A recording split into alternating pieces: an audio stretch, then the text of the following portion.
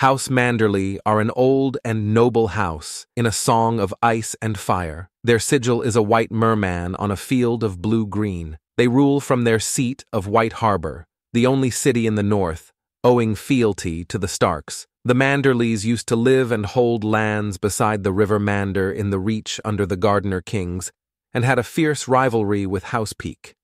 They were eventually exiled by King Perceon III Gardener, who feared the Manderlys' growing power and influence in the Reach, allowing House Peak to take their lands and titles. They instead fled north and were welcomed by the Stark Kings of Winter as their bannermen. They were given a seat of Wolf's Den and were charged with defending the White Knife in return for swearing an oath of fealty.